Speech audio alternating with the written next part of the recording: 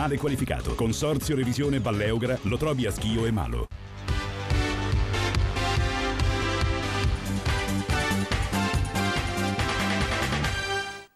TG dell'Alto Vicentino, ben ritrovati in apertura la notizia dell'arsenale dell'insospettabile di Valli del Pasubio, disoccupato che teneva sotto casa addirittura 12 bombe ehm, cariche funzionanti.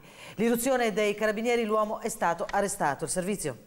Uh, Una collezione di armi da guerra che comprendeva 11 granate funzionanti e cariche, di cui due contenenti gas nervino e una bomba a mano tipo ananas della seconda guerra mondiale. Un arsenale vero e proprio, raccolto probabilmente in anni e anni di ricerca. La scoperta è stata fatta dai carabinieri di Valli del Pasubio nel corso di un'attività di indagine. In manette con l'accusa di detenzione illegale di armi e munizionamento da guerra è finito un insospettabile disoccupato, Stefano Penzo, 36 anni, incensurato. Il deposito delle armi e delle bombe era nascosto in una specie di legnaia di pertinenza dell'abitazione. Ritrovate sciabole e armi di ogni tipo, da sparo ma anche da taglio, 25 in tutto, materiale che è stato ovviamente sequestrato. Penzo si è difeso dicendo di essere un appassionato di vecchie armi e di averle acquistate in passato per pura passione. Le bombe, che sarebbero potute esplodere in qualsiasi momento, sono state affidate agli artificieri.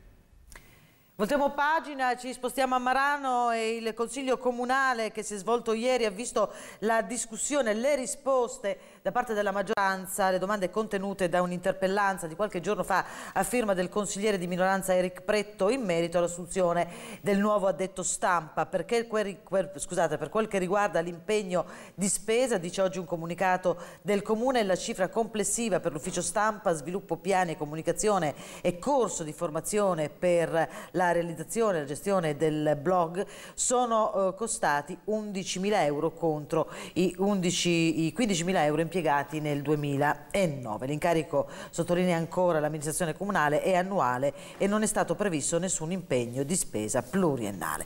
E a proposito di Marano, si ritorna a parlare di Contrada Vianello, ma per dire che la Regione ha bocciato la mozione a firma di Antonino Pipitone, consigliere d'Italia dei Valori, che chiedeva come la stessa intendeva intervenire per fermare il progetto della discarica. In un documento il Movimento Salvaguardia Ambiente si dice sbalordito di tale esito. Ci spostiamo a Schio per parlare e smentire la notizia che nella fabbrica alta sorgerebbero eh, dei negozi oppure un centro commerciale. Lo fa direttamente il sindaco dalla via che dice la novità invece è un'altra. Vediamo di cosa si tratta. Nessun centro commerciale, nessun negozio nella fabbrica alta. L'amministrazione comunale di Schio smentisce categoricamente la notizia e dice la vera novità è un'altra.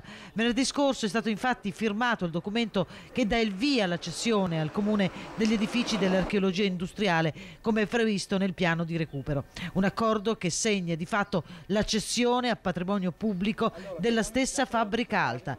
La novità riguarda gli spazi esterni dell'area ex Lanerossi e con il documento siglato diventano di patrimonio del comune di Schio gli edifici della Francesco Rossi, la centrale idroelettrica Umberto I, la centrale termica e l'archivio della Lane Rossi.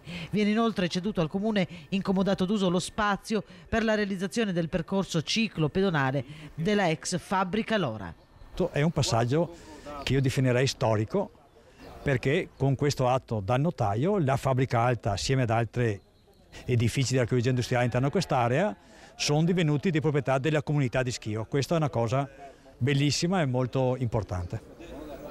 Un appuntamento giovedì alle 16.30 nella sala borsa di Via Montello Attiene, sede dell'ASCOM, incontro informativo realizzato in collaborazione con Veneto Sviluppo sulle modalità per l'attivazione e la gestione di specifici strumenti finanziari a favore delle piccole e medie imprese venete. Ci vediamo tra pochissimo con le notizie dell'Ovest Vicentino. Revisioni di tutti i veicoli, scooter, moto, ape, quad e mezzi fino a 35 quintali. Attrezzatura computerizzata e personale qualificato. Consorzio Revisione Balleogra lo trovi a Schio e Malo.